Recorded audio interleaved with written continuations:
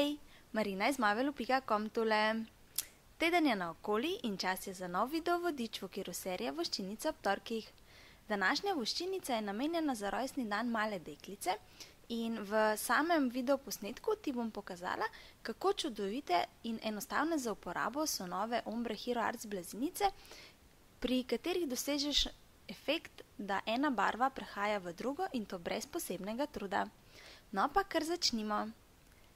Najprej sem vzela tole čudovito ombre blazinico in kot lahko vidiš, je v bistvu v notranjosti narejena iz treh plasti in zaradi tega jo ne moramo namazati samo štempilko, tako kot to delamo ponavadi običajno z blazinico, se pravi, da z blazinico odtisneš po štempilki, ampak greš s štempilko po sami blazinici in tako čisto nalahno premikaš samo štempilko sem in tja, tako da zabrišeš prehode med samimi barvami, oziroma da so prehodi med barvami lepo enakomerni in nimaš kakšnih ravnih črt med tremi posameznimi barvami.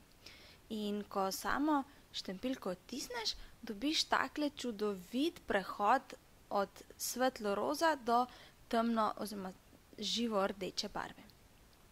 No, sam napis bom s pomočjo rezalne šablone v obliki balona izrezala ven in tale del se mi je malce izmuznil iz samega videoposnetka, sem pa enostavno samo prilepila dva, dva, dve barvi papirja in pa v središče, oziroma malce bolj na spodnji del, še dva vaši trakova.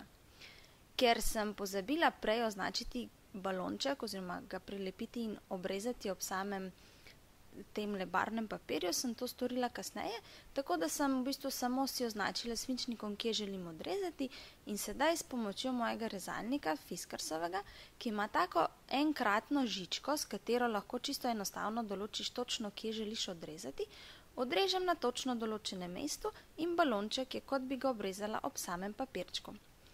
Travico sem izrezala iz belega papirja in takole posenčila z Versa Color blazinico. Na balonček sem dodala seveda še eh, vrvico, ker brez tega nikakor ne gre in jo takole v spodnjem delu za vsak slučaj še prilepila s tekočim lepilom. Tudi samo travico sem prilepila z enakim tekočim lepilom, v mojem primeru kar skočevim hitro sušečim lepilom, ki je v bistvu eno izmed mojih najljubših tekočih lepil in jih zelo pogosto uporabljam. Tisti odvečni del travce, ki pa gleda stran, pa bom enostavno samo odrezala ob robovu tega eh, barnega papirja s škaricami in sama travica je pripravljena, da na njo postavim še dve živalci in sicer žirafico in palevčka, ki sem jih izdelala s pomočjo kotičkat šablonic. Zdaj, um, jaz sem jih izrezala iz belega papirja in potem senčila z distres blazinicami in pa distres markeri in vse skupaj takole lepo prilepila enega, oziroma en košček na drugega, tako da sem lepo sestavila samo živalico v obliki žirafice oziroma levčka. Na to pa sem vse skupaj prilepila s 3D blazinicami na samo voščilnico in prav tako sem s 3D blazinico prilepila tudi sam balonček ter ob robovih narišala še črtice, da je vse skupaj malce bolj zanimivo. Čisto na koncu sem v travico dodala še eno pentljico in to je v bistvu gotova voščilnica, ki je narejena zelo hitro in pa tudi precej preprosta za izdelavo. Pa tudi tele živalice brez skrbi ti ne vzamejo veliko časa, da jih posenčiš in sestaviš skupaj. Tako, najlepša hvala za tvoj ogled in ker si si video gledala do konca. Lahko se naročiš na moj YouTube kanal in boš tako vedno obveščena, ko bom nam naložila nove video posnetke.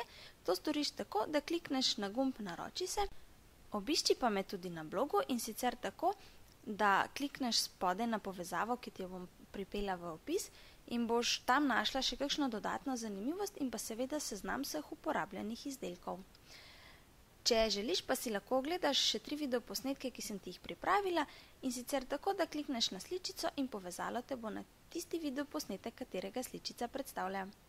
Še enkrat najlepša hvala za tvoj ogled in imaj en res fantastičen dan še naprej. Tchau, tchau!